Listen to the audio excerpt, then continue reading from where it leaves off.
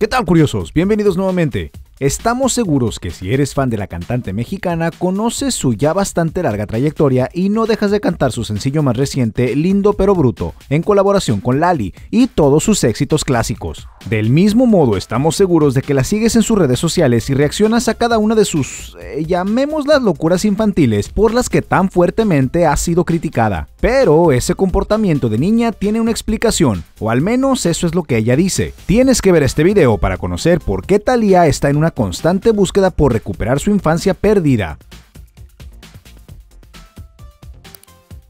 Ariadna Talía Sodi Miranda, simplemente conocida como Talía, es una de las mujeres mexicanas más reconocidas fuera de su país. Sin embargo, la llamada reina de las telenovelas es también una de las actrices y cantantes aztecas más criticadas. Que si sus atuendos de diseñador carísimos, que si pésima actriz y cantante, que si falsa y muchas otras cosas. Sin embargo, quienes siguen a la nacida en la capital mexicana el 26 de agosto de 1971 saben que un sello característico en la gran mayoría de sus publicaciones es la espontaneidad y la torpeza, y es justamente por esa razón que ha sido fuertemente criticada. Muchos creen que a sus casi 50 años ella es precisamente la doña de la célebre frase ya siéntese señora, y aunque sus seguidores más fieles siempre han salido en su defensa, también Talía habló no hace mucho del asunto, argumentando que todo tiene una explicación. De acuerdo con la intérprete de Amor a la Mexicana, sus locuras se deben a la infancia que nunca tuvo. Sus palabras exactas fueron, soy una mujer que no tuvo infancia, así que por eso me divierto tanto. Obviamente se refiere a que ella tuvo sus inicios en el mundo artístico a una edad en la que otros niños todavía estaban divirtiéndose y jugando. ¿No nos crees? Para que veas que no exageramos, tuvo su primera aparición en televisión cuando todavía no sabía ni hablar ni caminar. Es más, todavía no era siquiera consciente de su propia existencia. Así es, al provenir de una familia de clase media alta ligada a las artes y al entretenimiento, Thalía estuvo rodeada de fama, glamour y refinamiento desde su nacimiento lo que llevó a Thalía a aparecer en la televisión mexicana por primera vez cuando apenas tenía un añito de vida. Su fallecida madre, Yolanda Miranda, fue su principal influencia en su gusto por las artes musicales y escénicas. Al ver que su hija mostraba gran interés en ello, decidió inscribirla en el Conservatorio Nacional de Música, cuando Thalía tenía apenas cuatro añitos. Durante sus primeros años allí, la intérprete de Arrasando tomó lecciones de piano y de danza, pero su niñez estaba a punto de sufrir un golpe durísimo que la marcó para siempre. Lamentablemente, su padre, Ernesto Sodipayares, falleció cuando la actriz era una pequeñita de 6 años. Su muerte provocó una profunda tristeza en Thalía y le fue imposible superarla durante mucho tiempo. Sin embargo, la cantante encontró en la música un tipo de bálsamo que la mantenía ocupada para no pensar en la trágica pérdida de su papá, con quien en vida mantuvo un vínculo muy fuerte. No obstante, como lamentablemente suele ocurrir, los niños abusivos detectan a un infante deprimido, como si se tratara de un tipo de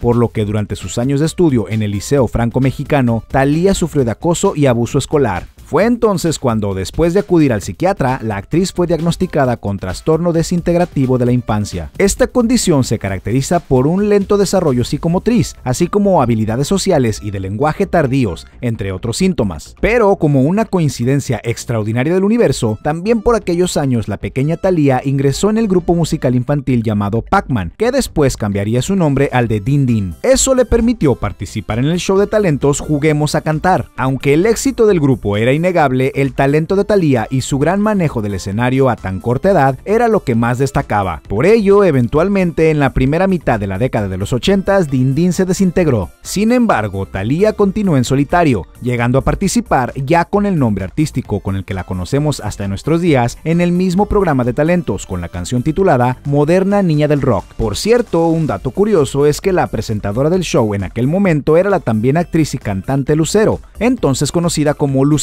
Pero el gran boom de la carrera musical de Thalía llegó en 1986, cuando se unió a la legendaria banda de pop mexicano Timbiriche. Además, por ese mismo tiempo también inició su carrera actoral, al participar en la icónica telenovela Quinceañera, para la cual interpretó el tema oficial de apertura junto a su grupo musical. La actriz de las Tres Marías obtuvo entonces el premio a la mejor actriz revelación por parte de la revista TV y Novelas. En 1990, dos años después de haber abandonado el grupo Timbiriche, la cantante mexicana mexicana sacó a la venta su primer disco de estudio como solista, titulado Thalía. Todos conocemos el resto de la historia. Éxitos, premios y reconocimientos y más éxitos. Entonces, curiosos, no fanáticos desde luego, ahora que ya conocen la complicada infancia por la que pasó Thalía, ¿creen que su comportamiento infantil está justificado? No olviden suscribirse a nuestro canal y checar todo nuestro contenido que de seguro les encantará. Hasta la próxima.